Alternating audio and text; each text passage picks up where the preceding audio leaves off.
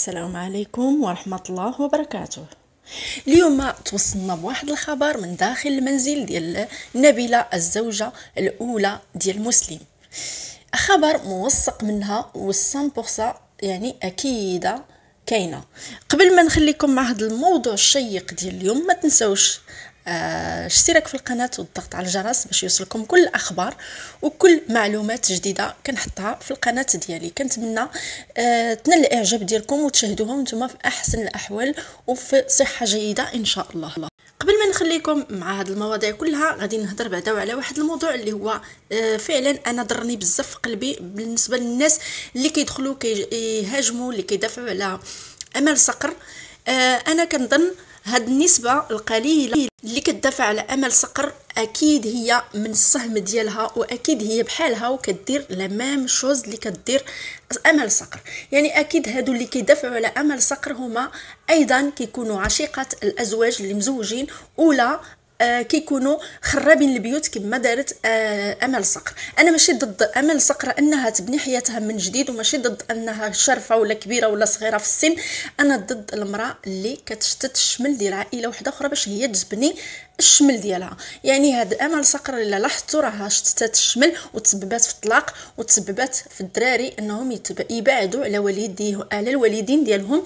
مرة كيكونوا مع باهم مرة مع أمهم. وهي كتمثل أنها كتبغي الولاد ديال ديال المسلم ولكن للأسف تبين لنا العكس لأن آه، كما كتعرفوا أي مرت الأب ما كتبغيش الربايب اللي هما أولاد الزوج ديالها كتمثل عليه أنهم كيبغيو كتبغيهم ولكن للأسف الشديد ما كتحملهمش. وما كتبغيش تزايد وحتى شي واحد ما كيبغي شي حاجة مشروكة. الوجه المشروك عمره ما يتغسل واللي متفق معايا في هذه النقطة. كنتمنى يكتبها لي لتحت في les commentaires ودابا غادي نقول لكم آه الخبر اللي سمعنا علاش آه مسلم سمح في أمل صقر ورجع للزوجة ديالو الأولى.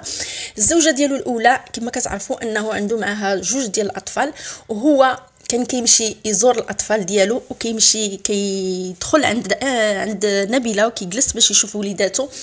كان كيديرها آه مخب بالتخبية على أمل يعني الحمد لله الكاس اللي شربت منه آه نبيلة عفوا شربت منه حتى هي. كان كيمشي بالتخبية لعند نبيلة كيشوف وليداتو. وكان كيمشي غير مرة واحدة في النهار ولا كيمشي جوج مرات في النهار. كيمشي في الصباح وكيمشي في العشية كيخرج مع نبيلة. كيمشي معها للقهوة. هو وليداتو بطبيعة الحال مع المرافقة ديال الأبناء ديالهم. فهي كانت كتجسس وكتبعو وكتشوفو اش كيدير لأنها هي من داك الأنواع ديال العيالات الرخاص.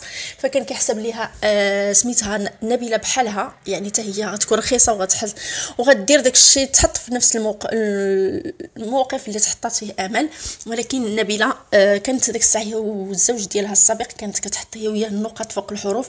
يعني نبيلة بغات ترجع بالحقوق ديالها وبالشروط ديالها وبحقها ومن طبيعه الحال هذا حقها الشرعي لأنه هو اللي خانها وسمح فيها ومشى مع وحدة أكبر منه في سنا. وكما سبق لي وقلت لكم في البداية ديال الفيديو أنا ماشي ضد وحدة كبيرة في السن تعاود حياتها تعاودها ولكن بما يرضي الله ماشي باش تريب حياة وحدة أخرى باش تبني هي حياتها. هذه ربي لا ربي لا حتى واحد ما يبغيها. أنا بعدا ضد هذه الفكرة مستحيل أنني نشتت شمل ديال شي واحد باش نبني أنا شملي لأن الضمير ديالي عايش وكنخمم في داك الوليدات وغنخمم في داك المرأة قبل ما نخمم في المستقبل ديالي أنا. كما قلت لكم إخواني وأمل عفوا ومسلم ونبيلة اتفقوا وإنه غادي يرجع معها وغادي غادي يرجع معها قانونيا وشرعا وقدام العالم كله. غادي يعلن على الزواج ديالو المرة الثانية مع الزوجة ديالو السابقة. وهكا نكونوا وصلنا لنهاية الفيديو. كنتمنى ينال الإعجاب ديالكم إلى عجبكم. خليوها ليا في لي كومونتير ونقول لكم إلى اللقاء. فيديو جديد إن شاء الله.